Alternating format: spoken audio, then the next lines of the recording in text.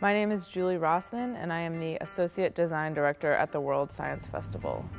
We're in Indianapolis right now shooting the 2015 World Science Festival advertising and marketing campaign. Every year when we create the campaign for the festival, we create an image for each of the programs that we're doing. This year the premise of the campaign is Mind Blown, and we're working with photographer Jon Smith. I specialize in high-speed photography, primarily of uh, light bulbs exploding.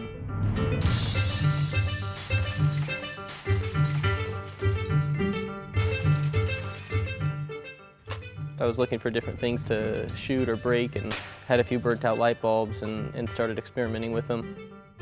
Really liked the way they broke. They were all very unique and different.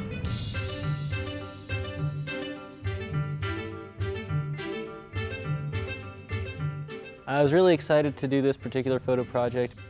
I've always been very interested in, in science in general, and I was excited to work with a group dedicated to science and discovery. The appeal of light bulbs for us is that light bulbs abstractly represent ideas. We concepted each shot based on whatever would be representative of the program.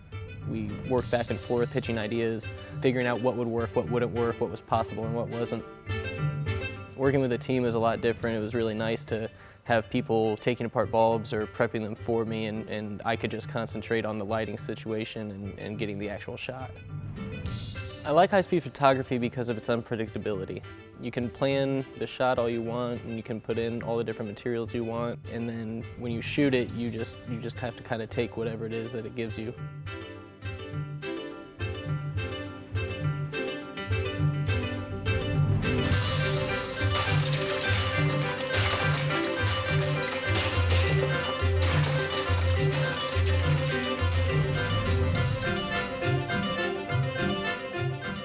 I hope people get excited about the pictures they see. I hope they, they, they start to think a little bit about um, kind of what the shots are, how they, how they happen.